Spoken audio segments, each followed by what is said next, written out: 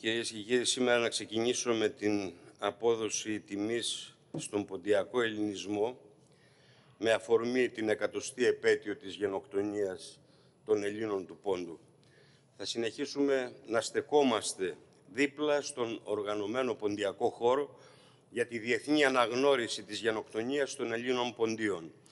Όλα αυτά τα χρόνια το ΚΚΕ στηρίζει κάθε δίκαιη διεκδίκηση του οργανωμένου ποντιακού κινήματος, όπως και όλες τις διεκδικήσεις του λαού ενάντια σε επιλογές της εκάστοτε κυβέρνησης και της Ευρωπαϊκής Ένωσης.